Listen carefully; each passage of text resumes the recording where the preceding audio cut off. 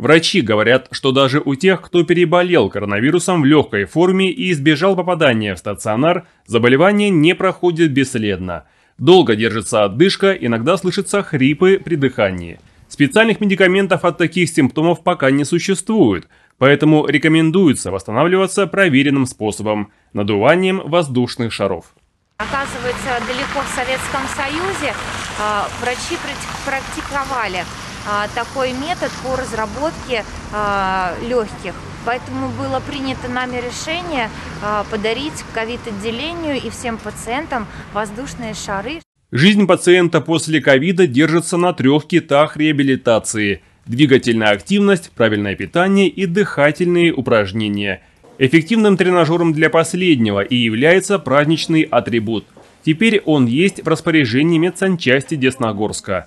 Волонтеры города подарили медучреждению и его пациентам целую упаковку воздушных шаров.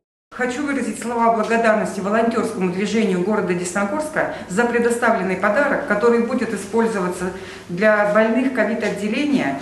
Это воздушные шарики, которые нужны в период реабилитации для профилактики легочных заболеваний. Это уже вторая подобная акция десногорских волонтеров, с помощью которой они надеются не только внести свой вклад в дело борьбы с ковидом, но и поднять настроение тем, кому не удалось уберечься от этой болезни.